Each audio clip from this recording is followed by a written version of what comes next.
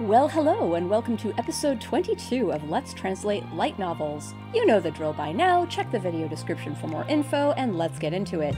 母は嗚咽を噛み殺しながら、しばらく息子を抱きしめていたが、That's first part of the sentence. 思い詰めたように少年の体を自分から離すと、こう聞いた。So, uh, the mother Oetsu is uh, sobbing, weeping, like audibly. If you look at the kanji, there's like the mouth radical in both of those kanji. That kind of clues you in. Uh, kamikoroshi nagara. So nagara is that suffix, that auxiliary verb that means while doing this verb.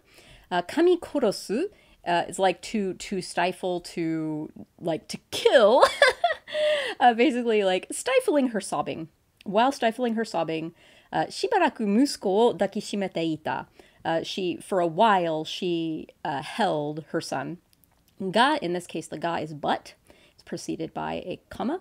Uh, omoitsumeta yoni. So omoi, like that kanji means to think, but uh, omoitsumeta is more like this thought consumed her suddenly, or like this thought tortured her suddenly, or something kind of more like that vibe.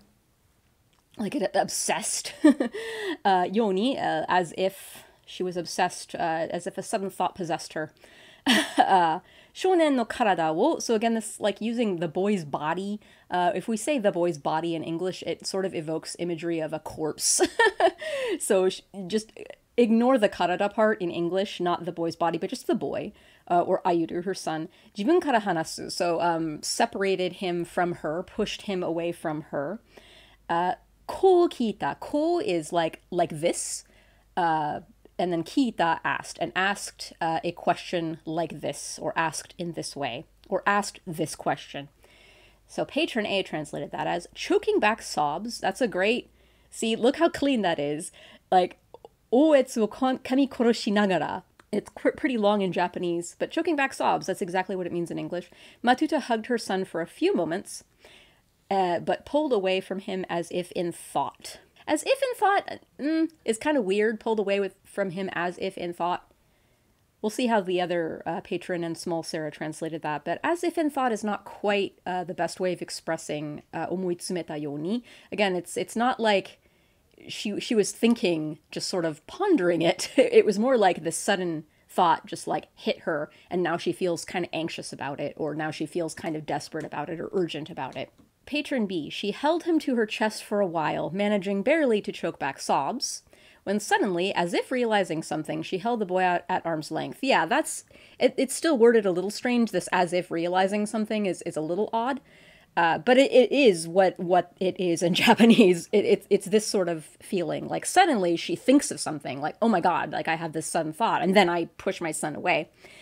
Uh, and then she's about to ask him a question. You'll kind of see with the next line the emotionality that's going into this, like why she's suddenly pushing him away. Like this next line really clues you into that. And note how patrons A and B flipped the order of the first half of the sentence. Patron A did the choking back sobs first, and then Matuta hugged her son for a few moments, and then patron B flipped that. She held him to her chest for a while, managing barely to choke back sobs. But you know, it's the same thing. It just it it does give you a different uh, feeling depending on which part of the sentence you express first. And then small Sarah translated that as well, suppressing her sobbing. yeah, so I've mentioned a few times in this series, but nagara you don't always, in fact, you usually don't want to translate it as while, like while doing a verb, while suppressing her sobbing. I don't know, it sounds too procedural. You know, it's like you're reading a cookbook. While the duck simmers, make the pasta. it, it's, yeah, it just, it, it doesn't sound very good while suppressing her sobbing. Like it's technically correct, it just sounds weird. Uh, the mother held her, the mother held her son tightly. Yeah, just this, the mother for haha, it's technically correct again, but it's just, it sounds a little weird in English to just call her the mother. We know it's Matuta. Like calling her the mother there uh, reinforces the, the familial bond between them, but you already have the word her son uh, in there, which would do that just fine the mother just sounds stilted. But then, comma, she suddenly pulled him a little bit away from herself and said, comma, and then we're going to have the quote. I liked, uh, but then she suddenly pulled him a little bit away from herself. Small Sarah just cut out the whole like omoi tsumeta yoni. well, she didn't cut it out. She just sort of reinterpreted that as like she suddenly pulled him away. Inst- instead of like what it was in the Japanese, she suddenly pulled him away because she had this sudden like epiphany or this sudden realization that that pressed her to ask a question or whatever. But uh, yeah that paints a good picture. Like you can imagine what's happening. All right the next sentence. So this is the this is actually a pretty significant line here and and it explains it informs why uh, she was holding him sobbing him and then suddenly pushed him away. So she says ayuru omae wa hinzoku toshite no hokori o motte. Shinukokuto ga dekiru? And then he responds after a pause, kasama. So this is relatively simple Japanese here, actually.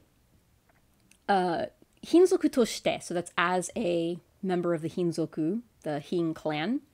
Hokori o motte, uh, like with pride or or like holding pride like possessing pride that's like literally what it means like but with pride basically uh, shinu koto ga dekiru so shinukoto ga dekiru uh, without the question mark means like uh, can die. I, I have the ability to die.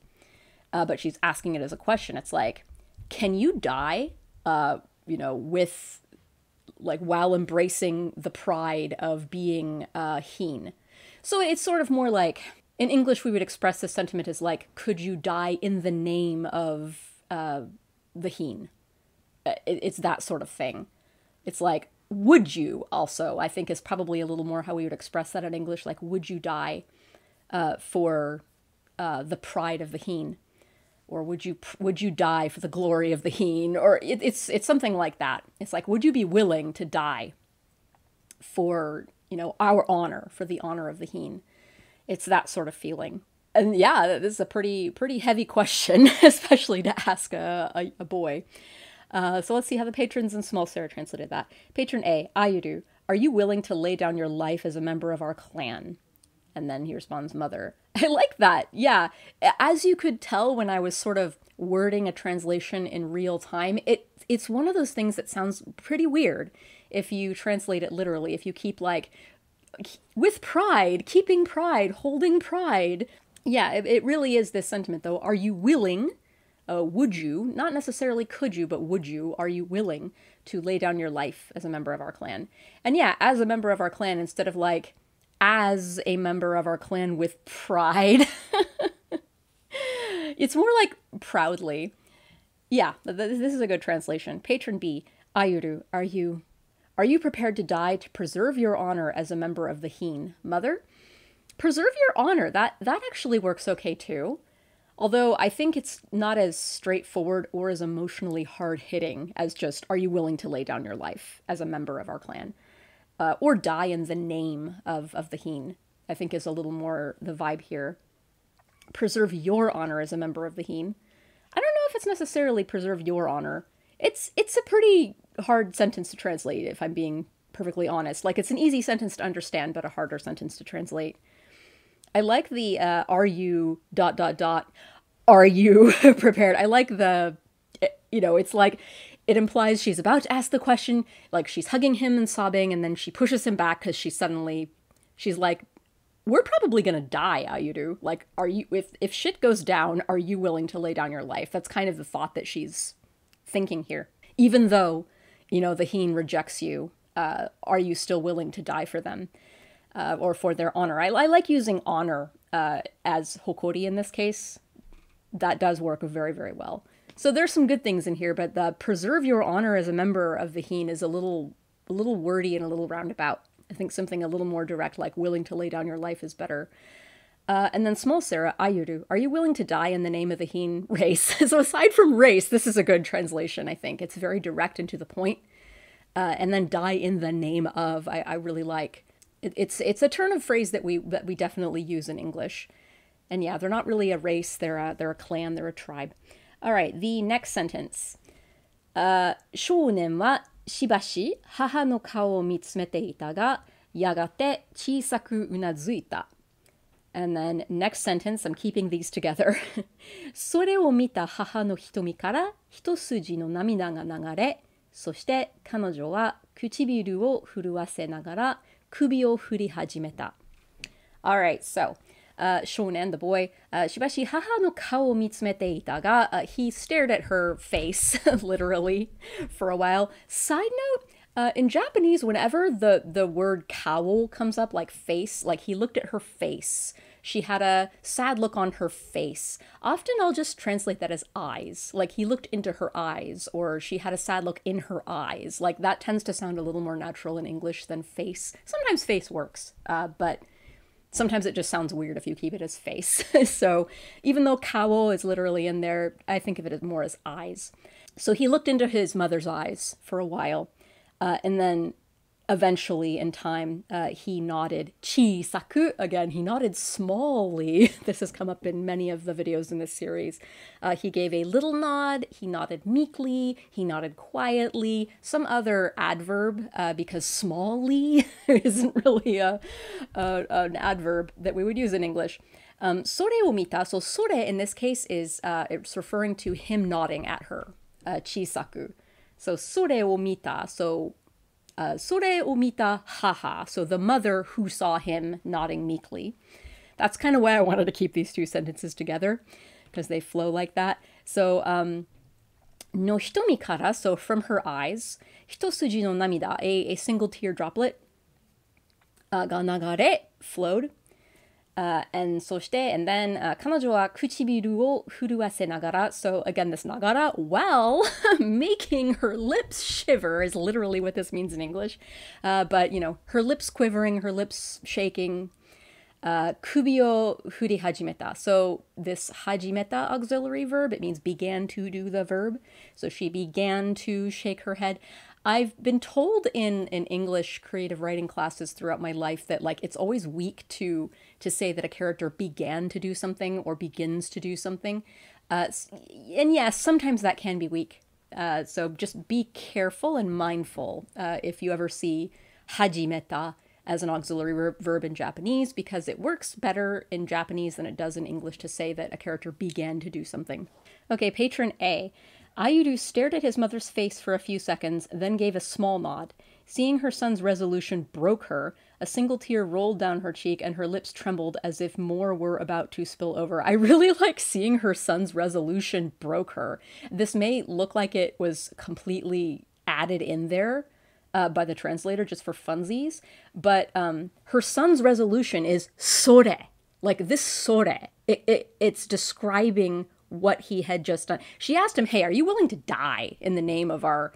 I wouldn't be willing to die, honestly, like in the name of a of a tribe who shunned me and, and stuff. Like, if I'm a kid, like hell no, I'm out of here.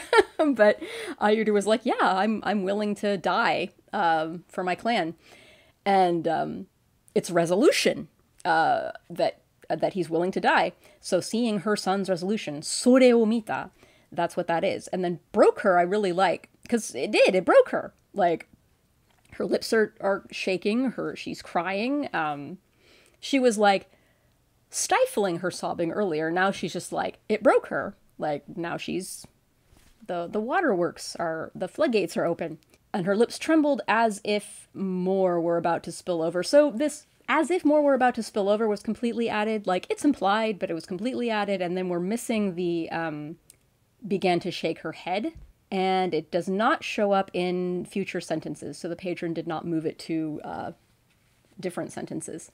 And I think this is important, actually, that, that she shook her head. She asks him, Are you willing to die? He says yes, and then she gets overcome with emotion and she's like, Yeah, you shouldn't have to do that. That's what this, like, she began to shake her head is. So I think it, it is missing that, and it does need that. But otherwise, I really like this translation. Patron B. The boy scrutinized his mother's face a moment, but finally responded with a small nod. I kind of like that. Scrutinized is interesting for like looked at. It's a it's a more specific way of saying looked at. It's implying that he's like trying he's like searching for something in her eyes like what did she mean by this question? How am I supposed to answer this question? Yeah, it, it works really nicely. With that, a single tear slid down her cheek. Uh, so yeah, sore, in this case, Patron B is translating sore as with that. That's a little more literal, but it also works. A single tear slid down her cheek, and and though her lips trembled, she began to shake her head. Yeah, this this has everything in there still. And it works pretty well. though her lips trembled. Yeah, this this brings up another good way that you can translate nagara, uh, especially if it's nagara mo. Like nagara mo definitely means even though or and though or while um, in a in a sort of a but b sort of sort of sentence structure. So yeah, though her lips trembled, uh, she began to shake her head. Uh, the though is actually a pretty good way of translating nagara as well. Even though, like, a part of her feels really proud um, to have raised such a very, like, loyal kind of son, at the same time, she shakes her head. She's like, no, you shouldn't die for our clan. uh, so I really like that contrast there. Uh, small Sarah.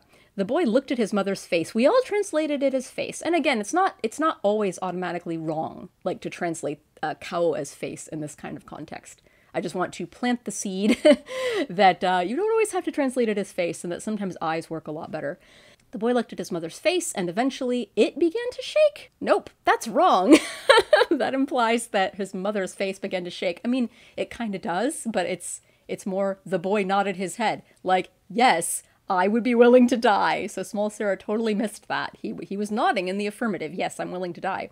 He saw a tear fall down his mother's face, and then with shivering lips she began to shake her head. I kind of like that part. He saw a tear fall down his mother's face is kind of weird.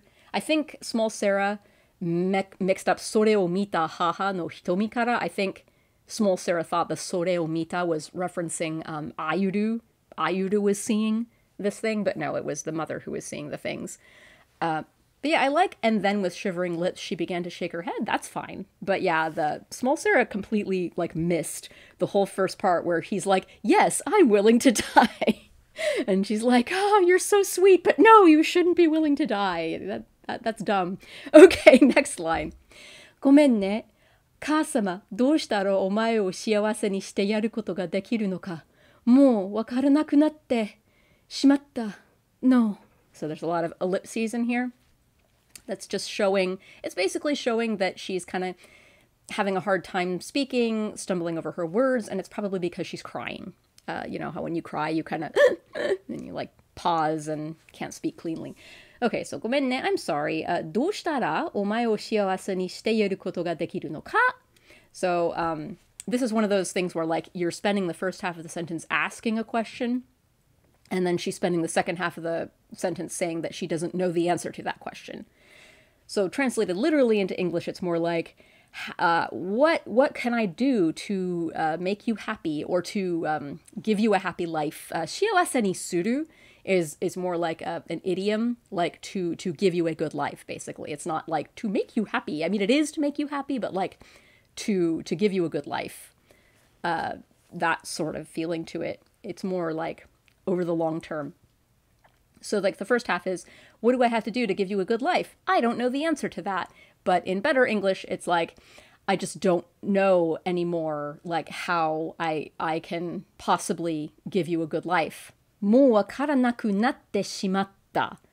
Uh, again, the shimatta verb, uh, auxiliary verb at the end, is is sort of implying like it's unfortunate, it's a bad thing that I don't know how to make you happy, but also like I I maybe used to know or used to think that I that I could make you happy, but now um, that that ship has sailed. Like I I don't think I can make you happy anymore. Like I don't know how.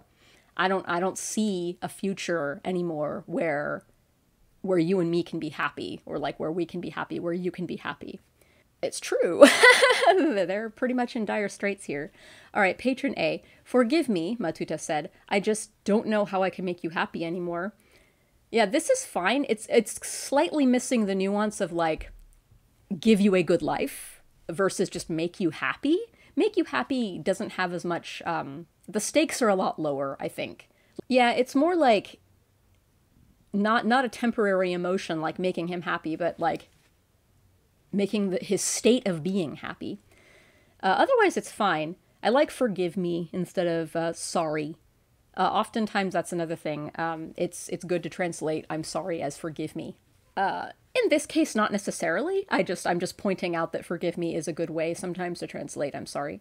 Uh, patron B, I'm sorry, Ayuru. I'm your mother, but I just I don't know what I can do, what more I can do to preserve your happiness. Preserve your happiness is it's a little odd of a turn of phrase, but it does get more at the heart of of what it really means. Shiawase ni uh, suru. Uh, you know, preserve your happiness to to make sure that you still have a happy life after all the all the stuff that's gone down. And I like the I'm your mother, but uh, she's using kasama here as a first person like pronoun, like her pronoun, her personal pronoun to describe herself. Uh, Japanese people do this a lot. Like especially Japanese parents, they'll call themselves. I mean, we sort of do this in English as well. We'll we'll call ourselves mom and dad to our kids when we're talking to them. But I I kind of like expanding this pronoun to I'm your mother, but I just don't know what I can do uh, anymore to preserve your happiness. Maybe cut this down a little bit. It's a little wordy, so it's it's losing a little bit of its emotional impact because it's it's a little wordy. It's small, Sarah. I'm sorry. I just don't know how I can make you happy. I don't know what to do anymore. I like I don't know what to do anymore. I'm I'm sorry. I just don't know how I can make you happy. That almost sounds like I don't know, snarky or bitter or something. It's like, well, I tried to make you happy, Ayuru, but you're just so picky. It's like no one's to satisfy you. yeah, the tone sounds a little weird here, but I like I don't know what to do anymore. Uh, that's great, actually. and it, it needed some ellipses in here just to show that she's having a hard time saying this. Okay, next line. This is Ayuru speaking. Boku wa kasama ga ite kureru dake de siawase da yo. Musuko no kotae ni Matuta wa kao o otte susuri nakidashita. So 母様がいてくれる。So, いいる is to, to be or to stay. いてくれる, uh, that くれる auxiliary verb means like you're doing this verb for me, for my sake, uh, for my benefit. So, uh, just having you with me, uh, mom, um, makes me happy. Like, you're all the happiness I need, mom. Um, you complete me. like, but yeah, it's like, I don't need anything else uh, to make me happy but you, mom. It's that kind of feeling. Um, no kotae, uh, her son's answer, ni, uh, Matuta wa te uh, covered her face and Susuri nakidashita and like just started sobbing. it's just like first first her son said, Yes, I'm willing to die for our clan. And then then he said, like, oh you you you are what makes me happy, mom. That you're all I need to be happy. And then she just loses it. She's just like, ah why is my son so sweet? I can't. All right, uh, patron A. I'm just happy that you're here with me, mother, Ayuru replied. At this, Matuta burst into tears, her face buried in her hands. I like at this, Matuta burst into tears, her face buried in her hands. That's a great wor- working of that. I'm just happy that you're here with me, mother. it's it's more than that though. Uh, it's like the the wording here implies it's in the moment uh, instead of like I have you in my life. Uh, we're talking sort of about um, happiness for life here. We're not talking necessarily about happiness in this moment or, you know, happiness this week or whatever. Uh, but it, it's still a pretty good translation. Uh, patron B, as long as you're with me, mother, that's all I need to be happy. Yes, this this is exactly the vibe. Um, that's all I need to be happy. Like you being with me. At that, Matuta covered her face and broke into sobs. Broke into sobs is a little weird to me. I don't think it's weird, weird. Like just weird to me. Uh, small Sarah, I am happy, mother, because you're with me. when her son said this, Matuta covered her face in her hands and wept. I like when her son said this, Matuta covered her face in her hands and wept. Although when her son said this, you don't really need that. I am happy, mother, because you're with me. You know, I suppose that works okay. Like, I am happy does describe not necessarily his feelings in the moment, but his state of being.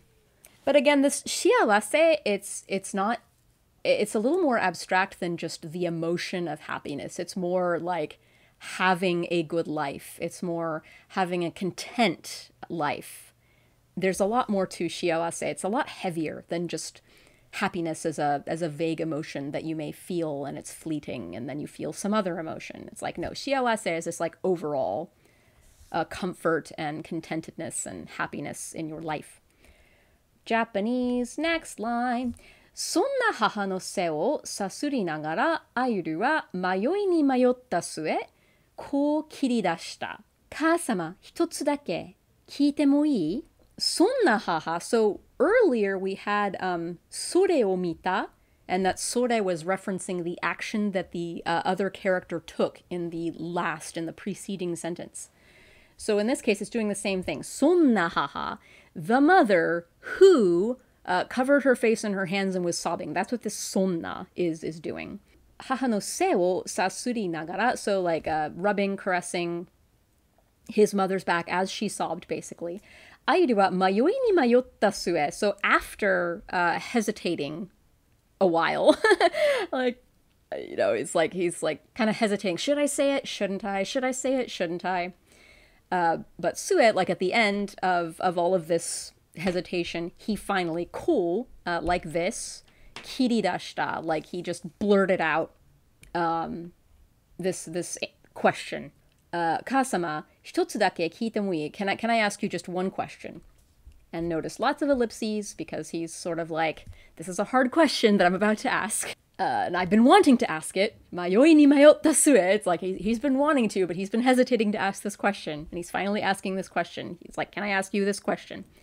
Okay, patron A. Ayuru began to rub her back gently. After some hesitation, he decided to get to eh, he decided to get answer. that was a little mistake there. To a question he wondered about all his life. Mother, can I ask you something? So this get the answer to a question he wondered about all his life. This is an extrapolation, but it's a fair one uh, because it is what he's about to ask her about. Spoilers. But I mean, you don't need to spell out that he decided to get an answer to a question he wondered about all his life, even though that is what he's doing. You don't need to quite spell that out just yet. I think it helps uh, if it's revealed after so while it's it's not entirely wrong to add that in there, like because it is technically what he's doing, I think it spoils uh, the surprise later. Well, the surprise that happens like in the very next line, but still, I think it it adds a little more suspense if you leave that out. Patron B. Ayuru rubbed his weeping mother's back and tried desperately to think of what to say. At long last, I like at long last for Mayoi ni Mayotta uh, he came up with, Mother, can I ask? Just one thing? I like that. This is a good wording of everything. Try desperately to think of what to say. Uh, mayoi ni mayotta sue, ko kiridashita. Uh, at long last, he came up with. I like that.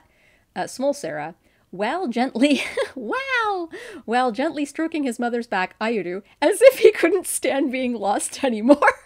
blurted out, "Mother, can I ask you just one question?" Couldn't stand being lost anymore. No, that's not that's not right. Um, ma- mayowu is to be lost, but it's more like to to falter, like yeah, to be at a loss for what to say. Uh, or or for what to do. It's not like literally like being lost. So if you couldn't stand, as if you couldn't stand, yeah, that, that no. I mean, it's not terribly terribly wrong. Uh, I like blurted out. That that's great. the blurted out part is is great. And uh, mother, can I ask you just one question? If if Small Sarah had added like an ellipses in there just to show that he's sort of like stumbling over his words and being hesitant, uh, that would be better. Okay, you know, not not too bad. Japanese. Haha wa sugu kotaeta. Tosama no koto ne. The mother responded or answered immediately. Uh, Tosama no koto. It's about your father, isn't it? Uh, so, patron A, Matuta gave a quick reply. It's about your father, isn't it? See, th- this is kind of the reveal. Like, Ayuru, he's probably, like, you know, kind of hinted at or maybe dropped hints or asked about his father all throughout his life. And Matuta's probably always been a bit vague about it. Uh, it. It's a very touchy subject between these two. Like, who is my father? So she could tell from the previous sentence when he's just like, Mom, can I ask you just one question? like she can tell, she knows what it is. So that's that's kind of why I questioned the choice uh, that Patron A made earlier to add in there that he decided to to get an answer to a question he wondered about all his life. Even though that is what he's doing, it I don't know. I think it it just has a little more impact if you leave that part out and say mother like and cautiously can i ask you something and then she immediately re- replies it's about your father isn't it Uh, I just think that flows better that way. Uh, the patron B, he barely had to wait for an answer. It's about your father, isn't it? I kind of like he barely had to wait for an answer. It's a it's a reworking of his mother answered immediately. It's putting the focus a little more on Ayuru, which is which is good because we're kind of in Ayuru's uh, shoes as well at this point. Uh, his mom knows who his father is, obviously. Uh, we as readers now are kind of getting a clue of, of who his father is. He's a guy with dark hair, so he's not Heen, and that would explain why their clan uh, hates him and his mother. That that would explain why she was an outcast because she uh, had a baby with someone who's not uh, from the Heen, which is like a huge taboo to their clan and he he probably Ayuru probably suspects this as well, but he doesn't quite know. And as readers, we don't quite know the details of this either. That like that's kind of what this book is about. We will find out later in the rest of this book exactly who his father is. But so fra- framing it from Ayuru's perspective here, he barely had to wait for an answer. It's about your father, isn't it? uh, that's nice because that puts us more in Ayuru's shoes because we are in Ayuru's shoes at this point. We don't really know who his father is. I mean, I do personally because I read the rest of the book, but uh, yeah, he doesn't know. And as a new reader, you wouldn't quite know either. A patron, not patron, small Sarah, his mother answered right away, It's about your father, right? it's about your father, right? That, I don't know, that sounds a little too modern, I think. Isn't it is better. Okay, next line. 驚いたあゆるが背をさする手を止める。マトゥタはアユルを自分の正面に向かせるとこう言った。So, 驚いたアユル。The surprised アユルが背をさする手。So, the, the hand that, that's rubbing his mom's back を止める。He stops, uh, or stopped the hand that was rubbing his mom's back. In surprise. マトゥタはアユルの Ayuru wo jibun no shomen, so her her front, like the the front side of her basically. Oh mukaseru, so she she made Ayuru face. This is the causative form of of the verb mukaseru. So she she made him. She caused Ayuru to face her directly head on, and then koita, and then she said this. Uh, let's see. That was a really literal bad translation, so let's see how we all did. Patron A. Surprised, Ayuru stopped rubbing her back. Matuta faced him sternly. I kind of like sternly. I don't know if sternly is exactly the right word to use. Maybe gravely or solemnly, because uh, sternly implies a little bit that she's angry. Uh, faced him. That's fine. At changing the whole she she made him face her head on. Just faced him works as well. And then surprised Ayuru stopped rubbing her back. That's fine too. I like how concise and how tight this is. Look how nice and short this translation is. You don't always want to make your translations as short as possible, but sometimes it's nice. Like, I have a tendency, or I used to have this tendency. I, I got cured of it uh, after translating games for so long, where you have to make your translations as short and as tight as possible. Uh, but yeah, sometimes one can be overly wordy it's pretty easy to get overly wordy in translations, and uh, this is nice and tight. Patron B, Ayuru was so surprised his hand stopped moving on his mother's back. Does that need a comma? This is why I'm not an editor. uh, yeah, was so surprised his hand stopped moving on his mother's back. Uh, Matuta reached out and faced him directly towards her. Ma- Matuta reached out and faced him, maybe and turned him directly toward her. Faced him directly toward her. That works too. I think his hand stopped moving like out of surprise or like surprised. Ayu stopped rubbing her back. Versus this is an example of like this is a little wordier. Ayuru was so surprised his hand stopped moving on his mother's back. Versus surprised Ayuru stopped rubbing her back. Like they both say exactly the same thing. It's just uh, one of them is wordier than the other, and the extra words are tripping me up right now in the moment. It could just be my current mood, uh, but yeah, it seems a little unnecessarily wordy. A small Sarah Ayuru, surprised, stopped stroking his mother's back. That's a little too comma y. it would be better if, if small Sarah had just done surprised, comma, like uh, Patron A had done. Ayuru stopped stroking his mother's back. Uh, Matuta, facing Ayuru, said this. Yeah, it's it's more like if you're imagining the scene taking place, like she's sobbing, he's hugging her and caressing her back, and then and then um, I'm, I'm imagining it where she's like uprighting herself and kind of pushing him a little bit, like putting her hands on his shoulders and like, okay, face me, look at me, boy. I'm going to say something very important. Uh, facing Ayuru, though, it's more like she does the facing him instead of like she physically makes sure that Ayuru is facing her because she has something important to say. Just note that the nuance is a little different there Like, Patron B is the only one of us who actually did the, like, the mom is the one who is, like, grabbing him by the shoulders and, like, okay, listen. Whereas Patron A and Small Sarah are more like she just, like, faced him. Uh, let's see, her line. Ashita hanashimasu. Keigo. She's using keigo. それを聞いたら、あゆる、お前は自分の道を自分で決めなさい。And then he says, 母様. So, Ashita hanashimasu. I will tell you tomorrow. And she's saying it in the polite form. That implies, like, yeah, she's being respectful, but also keeping him in a bit of a distance here. And she's sort of, it's kind of like when you're, when you're a parent and you take on this very, like, formal, um, official tone with your children. Like, when you're telling them, like, it's, it's you're kind of letting them know who's boss. You're kind of putting them in their place, not like in a condescending way, but like i am your mother and i am i am an authority figure and i, I will tell you tomorrow it's that sort of feeling to it uh, when you hear it, when, when you hear what I have to say about your father, あお前は自分の道を、uh, so 自分の道を自分で決める is a very cliche Japanese phrase. Based, it's literally you choose your own path. Um, you yourself. Like don't let anyone else choose your own path for you. But yeah, like you will decide for yourself how you're going to live your life, basically, or you're going to decide for yourself. Um, you know what what path you're going to take from here. We use that cliche in English as well.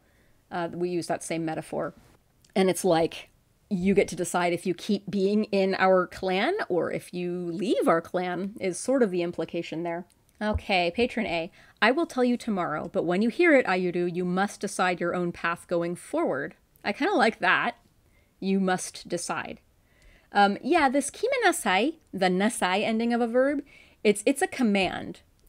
Uh, it's it's a very common verb form used by parents to children. It's it's kind of you know clean your room tomorrow. It's like that kind of like i'm your mother you do as i say.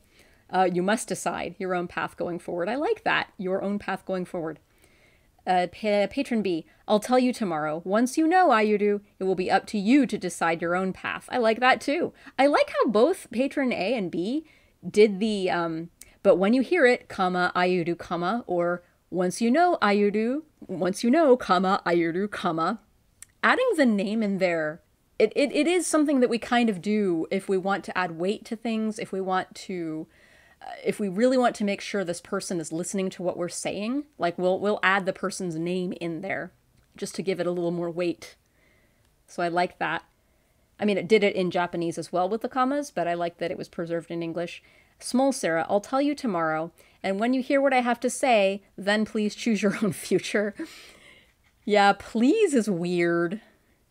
It's it's more a command. Please please is very weird. And when you hear what I have to say, that's fine. It'll be more like, you must choose your own future would have worked a lot better than then please choose your own future. Choose your own future is fine. It's a it's a interpretation of the metaphor of like choosing your own path. I think path is fine though in this case. It's cliche but it's good. All right the last little section. Sa kyou wa yukkuri o yasumi nasai. Matuta wa お休みなさい。マトゥタは息子の額にそっと口口づけをすると少年を横たえその顎の上にまで優しく布団を引き上げてやった。Alright, so、uh, さあ今日はゆっくりお休みなさい。So、uh, just sleep well tonight. but it's like you know, get some rest for tonight because tomorrow things are going to get pretty uh, wild because I'm going to tell you who your father is finally. Uh, but but for tonight, sleep sleep well or rest up. Um, 息子の額、uh, forehead にそっと口づけをする. So softly, gently uh, planted a kiss on his forehead. Uh, 少年を、uh, the boy あゆる横たえ、uh, lay him on his side. And その顎の上にまで, so all the way up uh, to just above his chin. Uh, futon wo hikiyagete yatta. She raised the futon, or the covers in this case, his comforter, um, all the way above his chin. Patron A, get some good rest today, all right? With a kiss on his forehead, she laid her son down and pulled the futon cover gently up to his chin. I like that, and it's fine to keep futon in Japanese here since uh, this setting is sort of like a pseudo feudal Japan. I think it's fine to keep uh, futon. I don't know though, like futon is, is a bit contentious because we do use the loan word futon in English and it means something completely different. Like a futon in English is one of those like fold out IKEA bed things. So uh, it, it's always a little um, you always have to use your discretion when you when you keep futon as futon. I would have I personally would have just used covers, but I don't think it's entirely wrong to use futon here again because the setting is sort of feudal Japan. Um, until patron B, until then get some rest. Matuta brushed her lips against her son's cheek in a soft kiss. Is that actually cheek? I always get so tripped up with this kanji if it's either forehead or cheek. It's forehead, okay. yeah. Uh, uh, it's an honest mistake. I I almost always whenever I encounter either this kanji, uh, the kanji for brow, uh, and the kanji for cheek, like I'll, I'll just look it up because I I always mix these two up. But yeah, it's his it's his brow technically, not his cheek.